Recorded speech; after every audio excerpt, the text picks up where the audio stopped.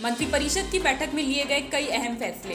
Corona से निपटने के लिए तेईस हज़ार करोड़ के पैकेज का किया गया ऐलान। कृषि मंत्री नरेंद्र सिंह तोमर ने किसानों से की आंदोलन वापस लेने की अपील। एपीएमसी एक्ट के तहत एग्रीकल्चर इंफ्रास्ट्रक्चर फंड इस्तेमाल करने की दी मंजूरी। जम्मू कश्मीर के सुंदरबनी में भारतीय सेना ने पाकिस्तान के दो घुसपैठियों को किया ढेर। 24 घंटे में दूसरी बार की गई घुसपैठ की कोशिश। आंध्र प्रदेश के मुख्यमंत्री जगन मोहन रेड्डी की बहन शर्मिला ने रखा राजनीति में कदम। वाईएसआर तेलंगाना पार्टी का किया गठन। राज्य निर्वाचन आयोग ने राजस्थान में की सरपंच उप सरपंच और वार्ड पंचों के उपचुनाव की घोषणा। 25 जुलाई को की जाएगी मतगणना। मध्य प्रदेश में बोर्ड विद्यार्थी दे सकेंगे परीक्षा। 1 से 25 सितंबर के बीच कराई जाएगी रिज़ल्ट से असंतुष्ट विद्यार्थियों की परीक्षाएँ।